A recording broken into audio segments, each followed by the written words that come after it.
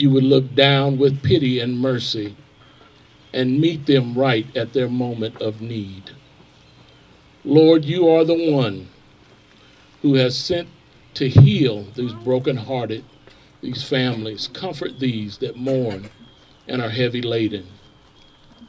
You are the one who promised that your grace would be sufficient for every situation, even those having to face this sudden and violent deaths of someone very close to them.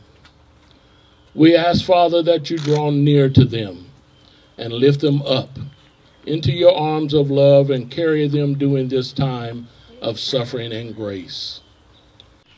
We've lost some brothers. This ain't the only time that we're ever going to lose somebody, but we got to hold our heads up and be together, guys. We can't be out here in these streets living it hard every day. We got to sit down. Thank God that we're breathing. Thank God these little children have us. It hurts every day to wake up and know that we lost another one and another one and another one. I'm thankful for all of you and I love everybody. Everybody stay strong.